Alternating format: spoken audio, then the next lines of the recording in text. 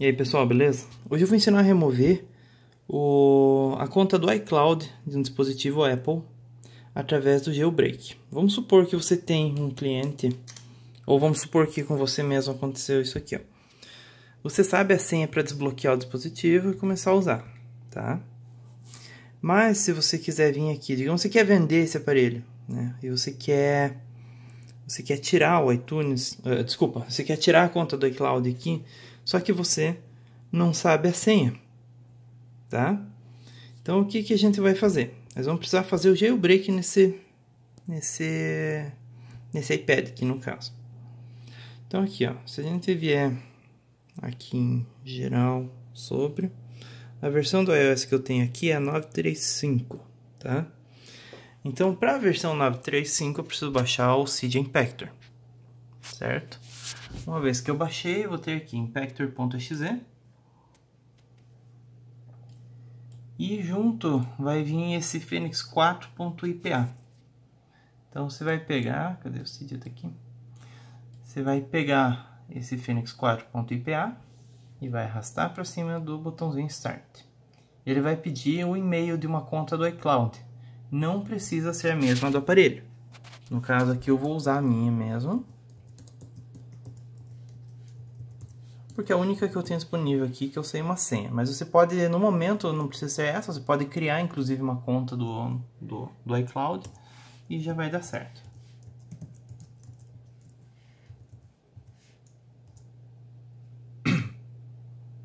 É só aguardar, ele vai dar esses comandinhos ali embaixo.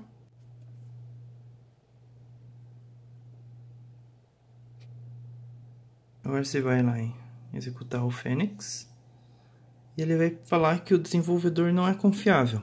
Ele vai dar essa mensagem mesmo. Então você cancela, vai lá nos ajustes, geral, gerenciamento do dispositivo e vai na tua conta e clica em confiar em uh, o nome da tua conta. Clica em confiar. Agora você vai lá de novo no Fênix, roda ele, tá? Preparar para jailbreak e aceitar.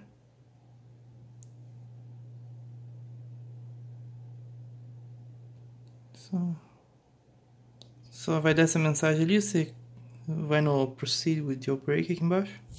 Aí ele vai começar a instalação, você clica aqui em Begin Installation. Vai preparar. É, usa, clique nesse Use Provided Offsets. Agora ele vai reiniciar.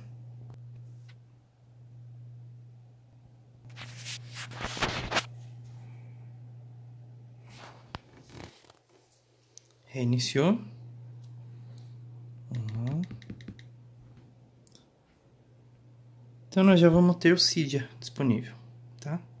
Abre o Cydia, ele vai atualizar um monte de coisa. A primeira vez que a roda. Provavelmente ele pode ou carregar um monte de código para atualizar, ou ele vai abrir e vai fechar. Então, no caso aqui, eu tive que abrir de volta, tá? Então, você vai aqui em procurar, você vai procurar o iFile.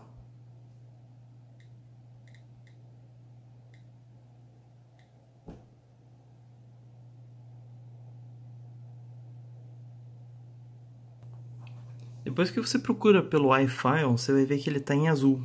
Significa que ele é um tweak pago, tá? E como eu imagino que você não quer gastar, a gente vai aqui, ó, fontes, editar, adicionar. Então nós vamos digitar aqui, ó, http dois pontos barra barra sinful iPhone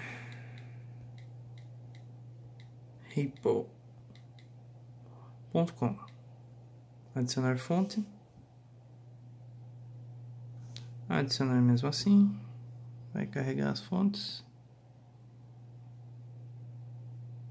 Dá alguns erros ali, mas não precisa se preocupar, não é nada grave.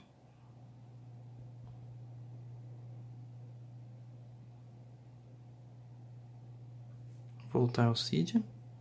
Então nós vamos aqui em procurar e vamos procurar pelo iFile de novo. Só que nós vamos ter que atualizar essa, essa busca aqui. Ó. iFile buscar. Ele tem esse aqui, ó, iFile Cracked. Instalar. E confirmar.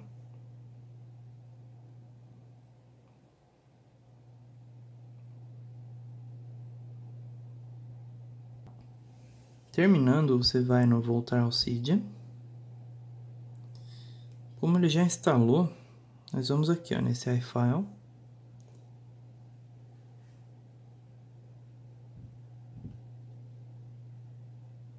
Então aqui nós vamos nessa pasta aqui em cima, ó. vamos voltar tudo aqui para trás. Vai aparecer essa barra, você vai em var, a pasta mobile, library, accounts. Vai aparecer esses três arquivos aqui dentro. Então você seleciona, selecionar todos. Vem aqui nessa latinha de lixo aqui embaixo. Mover três arquivos para a lixeira. Pronto. Agora, olha só. Nós vamos reiniciar o iPad.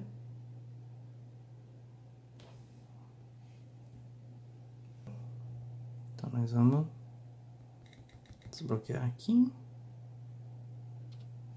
A gente vier em ajustes, se a gente for em iCloud, as informações do iCloud foram removidas. Mas, nesse momento, não significa que você pode restaurar o, o celular, ou digamos o iPhone, ou o iPad, ao ponto de, digamos assim, fazer uma restauração completa lá pelo modo DFU. Porque se você fizer isso, lá na informação, lá na Apple, eles sabem que esse dispositivo com esse número de série está vinculado à conta tal. Então, antes de fazer isso, você vai ter que colocar aqui uma conta que você sabe a senha. Ou você pode criar uma conta nova, digamos, para você ou para o teu cliente. Coloca a conta aqui e daí sim, se você quer reiniciar, quer restaurar o aparelho, você vai lá, reinicia ele, restaura ele no modo DFU e daí sim, você tem o aparelho pronto para ser passado para frente, tá bom? Então, obrigado por assistir. Espero que tenham gostado do vídeo. Não se esqueça de curtir, compartilhar e se inscrever no canal porque eu sempre posto algum vídeo relacionado com isso, tá bom? Então é isso e obrigado por assistir.